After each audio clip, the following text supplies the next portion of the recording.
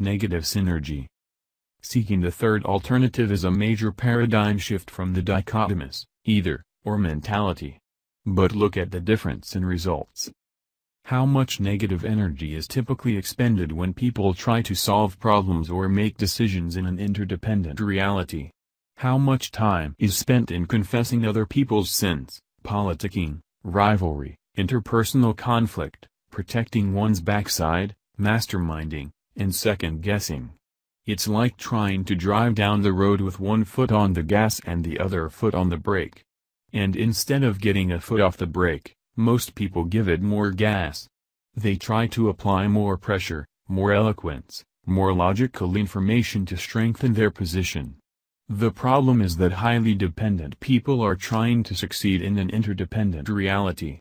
They're either dependent on borrowing strength from position power and they go for win-lose or they're dependent on being popular with others and they go for lose-win. They may talk win-win technique, but they don't really want to listen, they want to manipulate. And synergy can't thrive in that environment. Insecure people think that all reality should be amenable to their paradigms. They have a high need to clone others, to mold them over into their own thinking. They don't realize that the very strength of the relationship is in having another point of view. Sameness is not oneness, uniformity is not unity. Unity, or oneness, is complementariness, not sameness. Sameness is uncreative dot dot dot and boring. The essence of synergy is to value the differences. I've come to believe that the key to interpersonal synergy is intrapersonal synergy, that is synergy within ourselves. The heart of interpersonal synergy is embodied in the principles in the first three habits, which give the internal security sufficient to handle the risks of being open and vulnerable.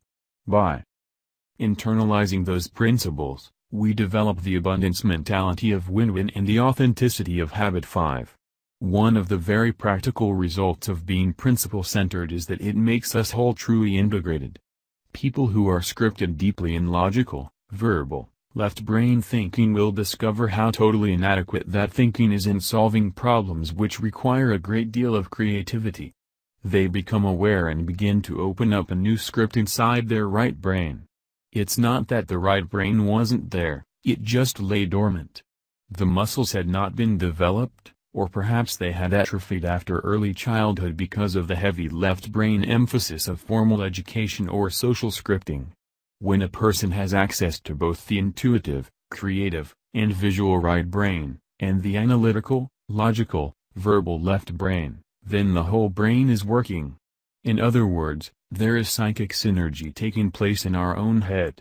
And this tool is best suited to the reality of what life is, because life is not just logical, it is also emotional. One day I was presenting a seminar which I titled, Manage from the Left lead from the right to a company in Orlando, Florida. During the break, the president of the company came up to me and said, Stephen, this is intriguing. But I have been thinking about this material more in terms of its application to my marriage than to my business. My wife and I have a real communication problem. I wonder if you would have lunch with the two of us and just kind of watch how we talk to each other? Let's do it, I replied. As we sat down together, we exchanged a few pleasantries. Then this man turned to his wife and said, Now, honey, I've invited Stephen to have lunch with us to see if he could help us in our communication with each other. I know you feel I should be a more sensitive, considerate husband. Could you give me something specific you think I ought to do? His dominant left brain wanted facts, figures, specifics, parts.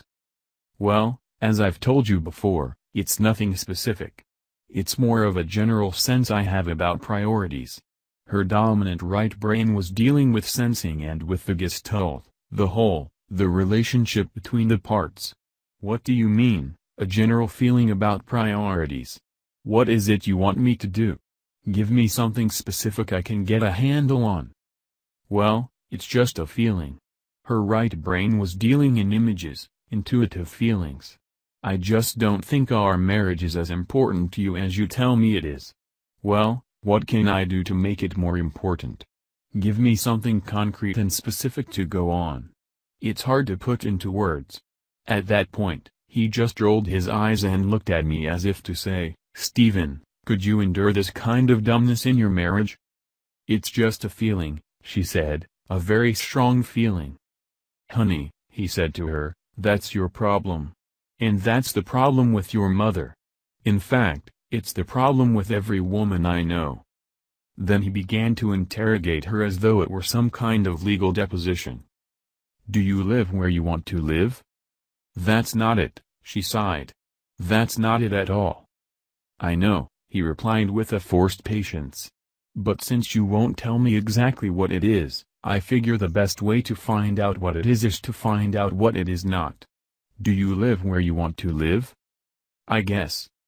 Honey, Stephen's here for just a few minutes to try to help us. Just give me a quick yes or no answer. Do you live where you want to live? Yes. Okay. That's settled. Do you have the things you want to have? Yes. All right. Do you do the things you want to do? This went on for a little while, and I could see I wasn't helping at all. So I intervened and said, is this kind of how it goes in your relationship? Every day, Stephen, he replied. It's the story of our marriage, she sighed. I looked at the two of them and the thought crossed my mind that they were two half-brained people living together. Do you have any children? I asked. Yes, two. Really? I asked incredulously. How did you do it? What do you mean how did we do it? You were synergistic. I said. 1 plus 1 usually equals 2. But you made 1 plus 1 equal 4. Now that's synergy. The whole is greater than the sum of the parts. So how did you do it? You know how we did it, he replied. You must have valued the differences. I exclaimed. I exclaimed.